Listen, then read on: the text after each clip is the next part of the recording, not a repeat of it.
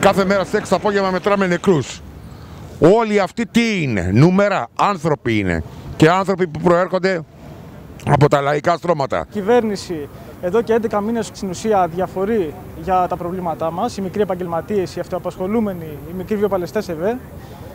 Την ίδια στιγμή που βλέπουμε εμείς εκατομμύρια να περνάνε μπροστά από, το, από τα πόδια μας και να δίνονται με αυθονία στους μεγάλους επιχειρηματικούς ομίλους.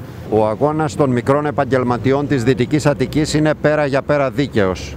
Το κόμμα μας στηρίζει με όλες του τις δυνάμεις αυτόν τον αγώνα και μέσα στη Βουλή και έξω από τη Βουλή.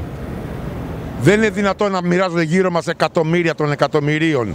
Να γλιτώνουν οι πολυεθνικές, τα μεγάλα τα τραστ, να, να γλιτώνουν από χρήματα, βλέπε κλείσιμο των εθνικών οδών και εμάς να μας ισοπεδώνουν οικονομικά. Εμείς είμαστε αναγκασμένοι να ζούμε με επιδόματα των 500 ευρώ, με μειώσεις ενοικίου κτλ. Διεκδικούμε το αφορολόγητο, διεκδικούμε μέτρα υγείας για τον κόσμο, να μπορέσει να αντιμετωπίσει την κατάσταση.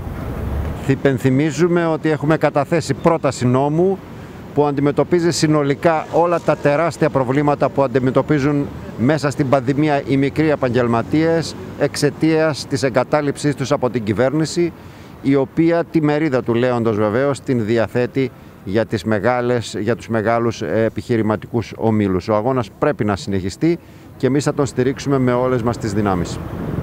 Τώρα είναι ώρα να συσπηρωθούμε στους συλλόγους μας, στις ενώσεις μας, να ανεβάσουμε το ρυθμό της διεκδικήσεις μας πιο μαχητικά, πιο αγωνιστικά το επόμενο διάστημα που προβλέπεται πολύ δύσκολο για τους επαγγελματίες.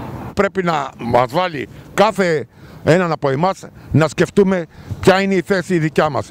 Να υπακούμε τυφλά ό,τι μας λένε ή να μπορέσουμε να σηκώσουμε ανάστημα για να αντιμετωπίσουμε την κατάσταση.